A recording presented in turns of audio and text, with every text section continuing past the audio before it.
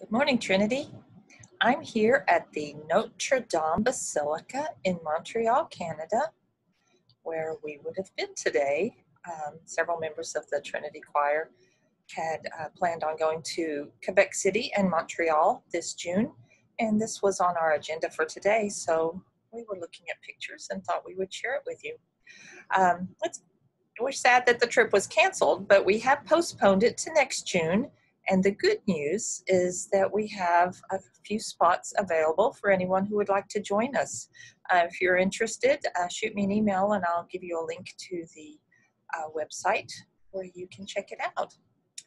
Uh, I think one thing we would all agree is these last few months, um, music has been a tool that connects us all.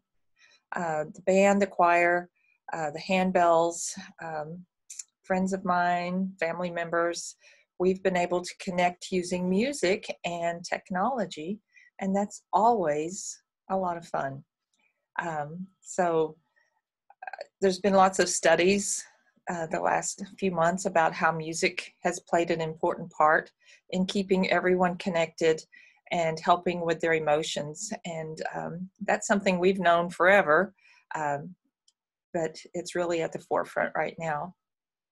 Uh, so wanted to let you know that this Sunday then is uh, International Make Music Day. Uh, of course, I think everybody every day should be Make Music Day, but this Sunday is a day set aside, has been set aside since since the 80s. It started in France, and this is Make Music Day. Uh, so, in that vein, the choir is happy that we have prepared for this week um, the anthem "How Can I Keep from Singing." Um, whenever you're happy, you sing. Often when you're sad, you sing.